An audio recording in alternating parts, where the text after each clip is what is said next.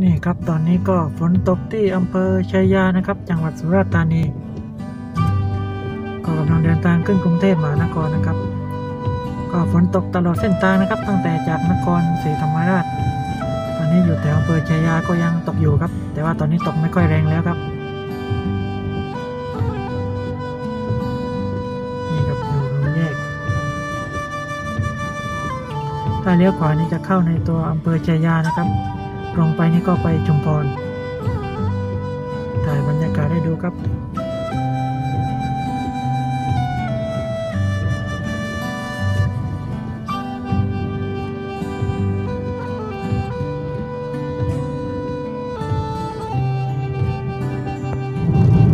นี่ครับ บรรยากาศแถวอำเภอชัยยานะครับ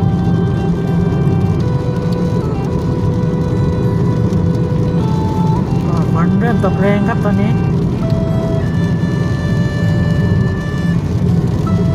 แรงขึ้นเรื่อยๆครับ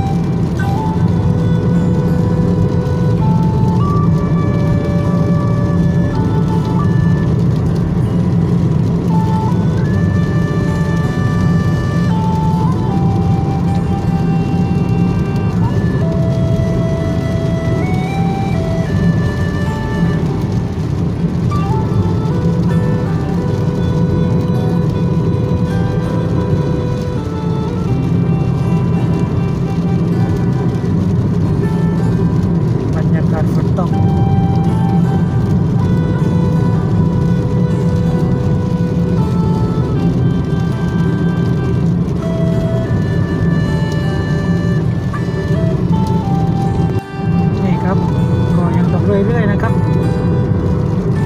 ยังอยู่แถวอำเภอเชียยาอยู่ครับตอนนี้ อีกประมาณ 20 กิโลเมตรนี่ก็จะถึงอำเภอต้าชนะนะครับก็แถวชัยนาก็ยังตกเรื่อยๆครับ แต่ว่าตกไม่ค่อยแรงมากครับ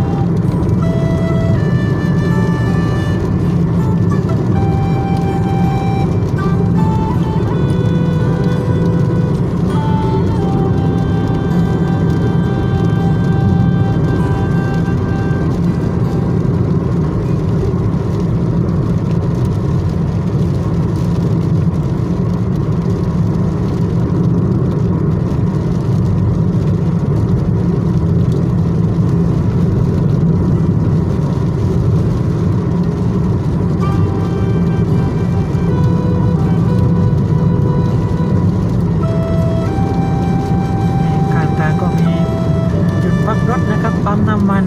ร้านขายของฝาก พวกไข่เค็มชายาก็มีครับ